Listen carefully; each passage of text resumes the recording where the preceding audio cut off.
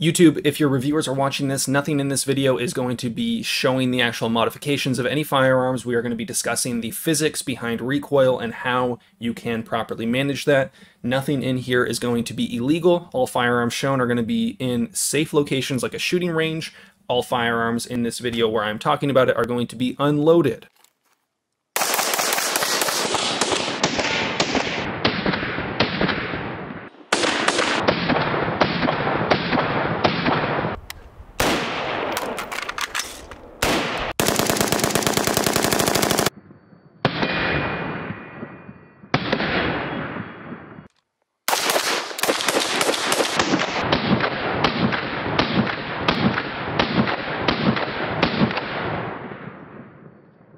So every time that I've posted a video of me shooting this AR, it seems like the comments are filled with things like, oh, why does your gun have no recoil? Or is that a 22? And just generally people being confused about how this gun has such little recoil. Now, at the end of the day, this is still a 223-556 AR-15, and while skill is definitely an important factor, there are some things that you can do when it comes to setting up your AR-15 that can help you have a more manageable recoil and have a gun that operates more reliably and just better and more enjoyable to shoot. And it's not just throw on a muzzle brake. You will notice that this gun does not have a muzzle brake on it. It actually has what was what would be considered a flash hider.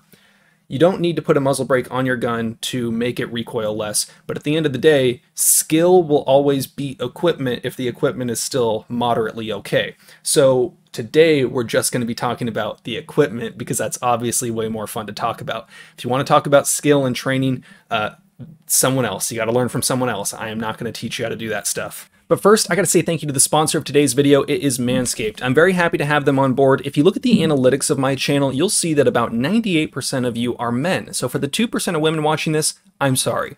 But for the men out there, now I know based on the comments, the people in my Discord, that there are two types of people who watch these videos. Hardcore red-blooded Americans like you and me, and weebs. And both of those groups of people would highly benefit from the occasional trimming of their, uh, the boys. Now, I care about your your nuts. I care about your nut health. And they have a wide variety of products. I'm actually really happy with how they turned out. I thought I was going to have to turn down this ad after using the products, but they're as hyped up as they are. Um, I did not hurt myself during the testing process of this ad read. So thank you to Manscaped. If you use the coupon code link down below, it will give you a bunch of free stuff as well as a discount on whatever you purchase there. Thank you to Manscaped for supporting this video. Let's get back into it. So before we can really talk about the gear, we got to kind of talk about some core concepts when it comes to the physics of AR-15 recoil. Now, bear with me. I'm going to try to do this as fast as possible. Now, when you fire a round out of a out of a gun, you are throwing a projectile which has mass at a very high speed. Now, if you remember high school physics, equal and opposite reactions, so as much force is going forward, that is the same amount of force that is going to be exerted backwards. So that leads us with a problem. That force is translated into what we perceive as recoil in the form of movement backwards and rise upwards. So how do we control and mitigate that as best as possible? Now, one of the biggest factors that we have over the control of the recoil is the actual weight of the firearm. This firearm weighs a little bit over 8 pounds unloaded. Now, I've also owned AR-15s that have weighed under 4 pounds or under 4.5 pounds. The difference between a gun that weighs about 8.5 pounds versus a gun that weighs about 4.5 pounds, you will notice the felt recoil significantly more on a lighter gun. A common example that I have for people is you have someone shoot a very small pistol and then you have someone shoot a very large pistol, both in the same caliber, you're going to feel that felt recoil on the smaller gun a whole lot more. And that's because there's less mass and less momentum to the actual gun. So everything is translated more into you much more quickly because the force on the gun, on a lighter gun, sends it back just a little bit quicker and a little bit sharper. So when you're building your gun, you can kind of uh, play with the actual weight. Now, a lighter weight gun is going to handle, as far as maneuverability, much better than a gun that weighs 15 pounds unloaded. So there's a balance to it. You don't want to get super light unless you're looking purely for a competition gun or going so light just for the sake of having a lightweight gun, but going so heavy would make the gun unwieldy, especially if you're going to be planning on using this gun for any sort of defensive role or hard use. So don't go too light, don't go too heavy. This gun is kind of right around in that sweet spot on the heavier end where it's about eight pounds, eight and a half pounds. So it's going to have a lot less felt recoil than some of those lightweight AR-15s you might see on the market. Now, because these guns are semi-auto, that's a huge benefit when it comes to recoil control. When it's semi-auto, you are going to have a significant decrease in felt recoil compared to a gun that's bolt action. That's because Remember when we talked about equal and opposite forces? When that bullet leaves the barrel, it's putting all that force into the gun.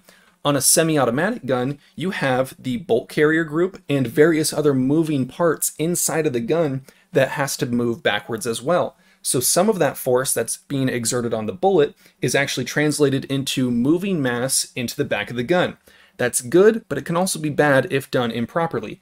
And that's why when you shoot a 308 bolt action, you might notice that it feels significantly harsher on the recoil than a AR-10 or a similar firearm that's semi-auto because some of that force that's being exerted on the bullet is going backwards and being slowed down. So it's the same amount of force typically that's being put back, but because it's not immediately going into you, it's acting on the bolt carrier group, which is moving backwards at a slower rate or at a delayed period of time.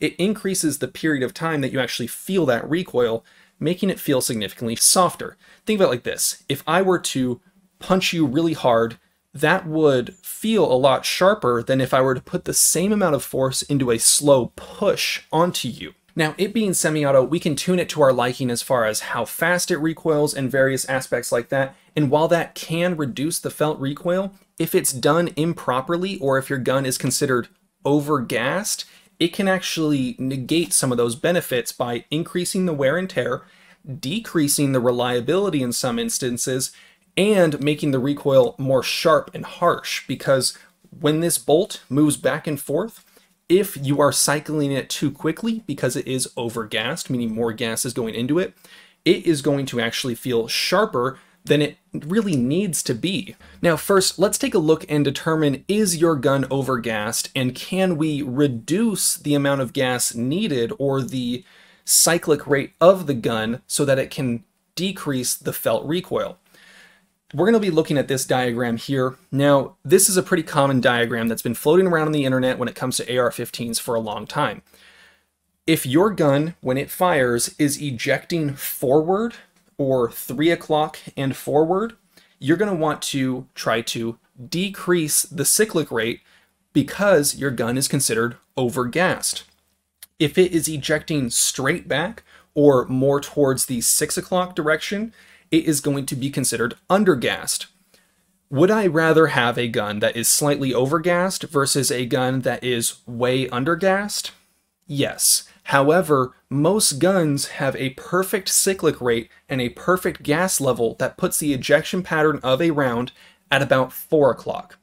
3.30 to 4 o'clock is about what you're looking for when the gun ejects. So if you're shooting the rounds that you're typically going to be using for defensive use, and your gun is ejecting at about 3 o'clock to 4 o'clock, great. Your gun is gassed really well, and the things that we would be talking about when it comes to the gas system aren't really going to affect you your main choices for reducing the felt recoil are going to be first of all skill, maybe adding a muzzle brake if that's something you're interested in, or having the gun be heavier. Really, skill is the true king, but we're talking about gear today because gear is fun. Because the current state of the AR-15 manufacturing market is they tend to overgas their guns. And the reason they do that is because they want anybody to be able to just pick up any random ammunition from a gun show that's way underloaded and pick up the heaviest bolt and buffer and all that combination, and it should be able to cycle anything.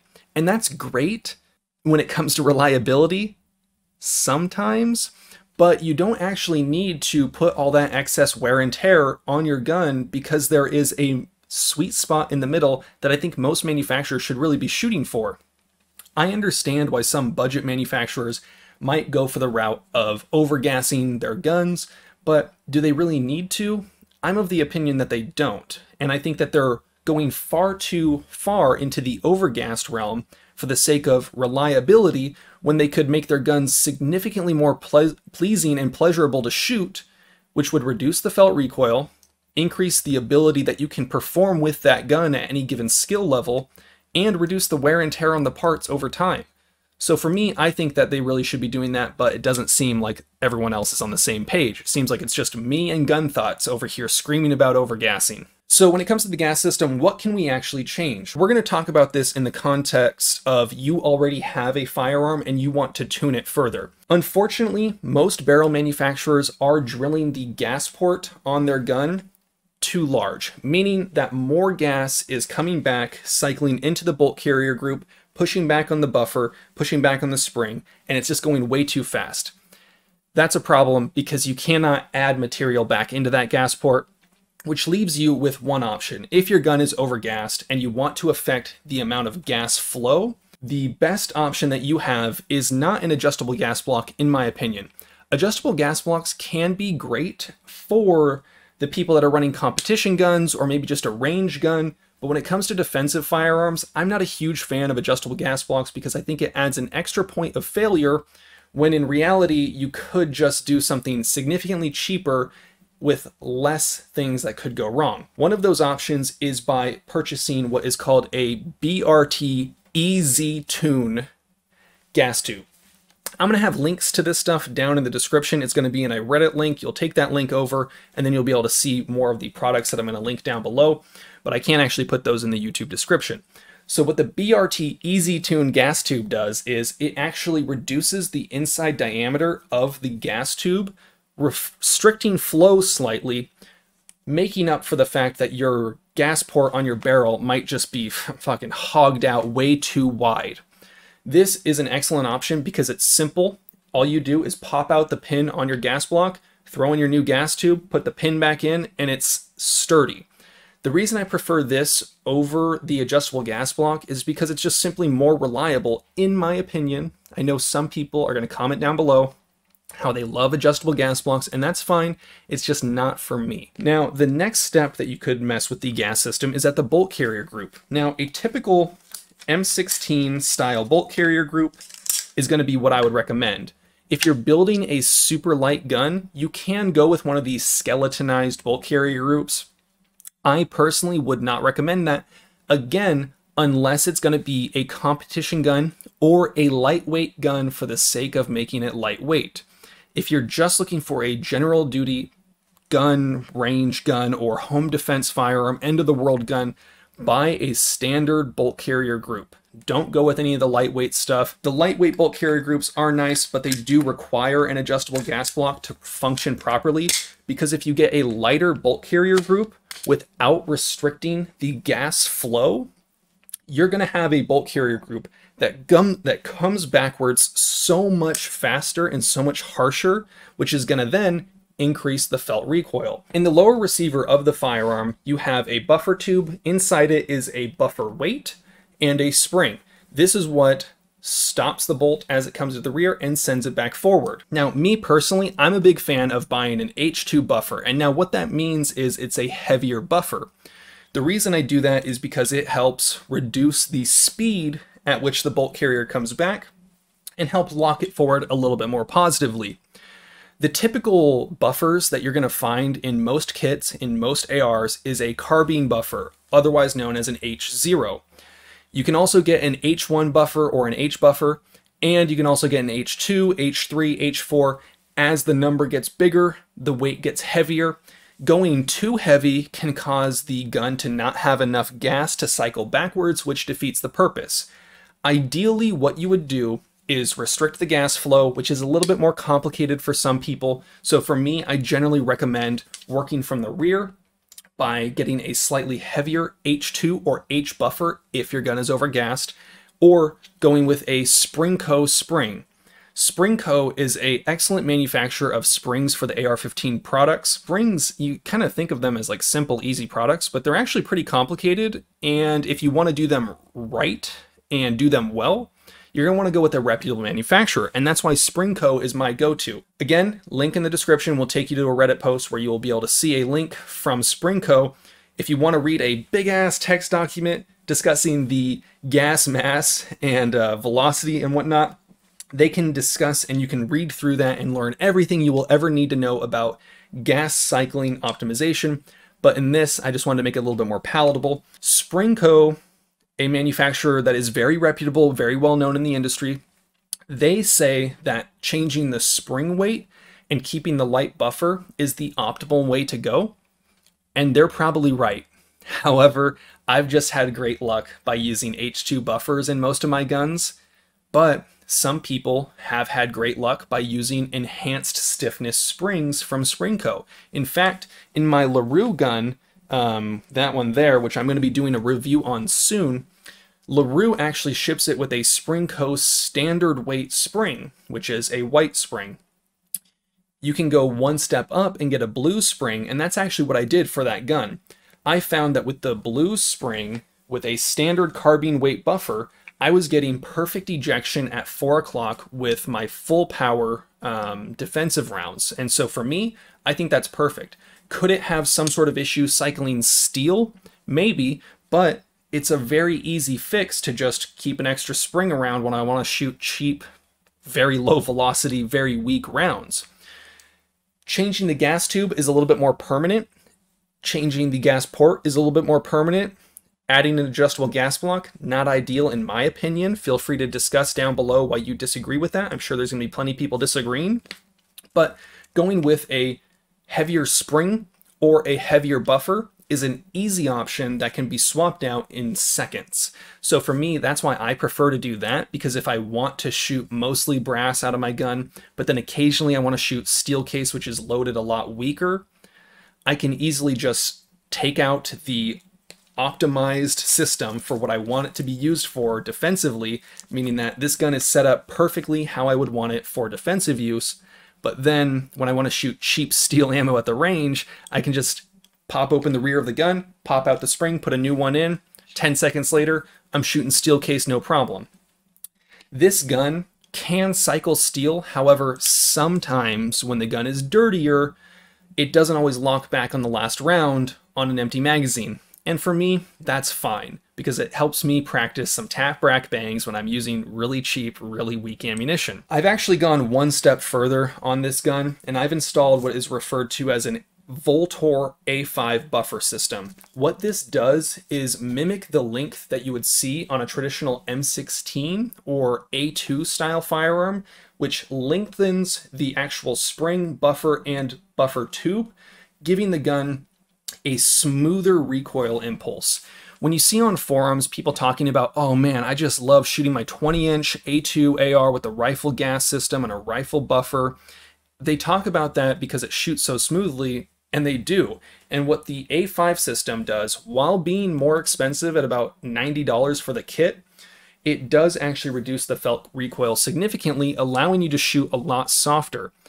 Is it necessary? No, but I think if you're building a gun from the ground up, it might be worth considering going with the A5 kit. Now, muzzle brakes. As you saw on my gun, I don't actually have a muzzle brake on that gun. I'm using a flash hider. Now, have I shot a lot out of that gun and am I pretty good with that gun? Absolutely. A muzzle brake can reduce and will reduce the felt recoil and the muzzle rise on your gun significantly, making it much easier for you to shoot faster and flatter. Great for the range, great for competition, great for general use. However, they are significantly louder and much more concussive, especially to the people around you, which for me isn't the hugest issue because I'm the one behind the gun. But when I'm having someone film for me, I, I mostly just go with it because I want to be nice to them. But then also, since this gun is going to be my main primary defensive firearm, I'm considering the fact that if I were to shoot this gun indoors, it's going to be loud regardless, but I have an option that's slightly less loud, slightly less concussive, slightly less disorienting. And now there's a whole conversation that can be had about people that have been in the military or people that have been in defensive situations where uh, the auditory occlusion kicks in and you don't notice that kind of stuff when your adrenaline's pumping, and that's fine. However, I can also set my gun up to just be a little bit less annoying to myself if I ever need to use it, or to the people around me when I happen to just be shooting. An unsuppressed firearm inside the home is going to be really loud, and that's just something you have to consider. But for me, I don't necessarily need the performance benefits of a muzzle brake for the context of what I use this gun for. If it was going to be a competition gun, absolutely I'd be throwing a muzzle brake on it, the most loud, obnoxious, effective muzzle brake I can get my hands on, and I would be having a much flatter shooting gun. But as you can see in the videos that I showed in the beginning, you don't necessarily need that. So let me know what you guys think down below. Is there anything that I missed? You guys know the drill. Have fun, be safe, stay dangerous. Peace.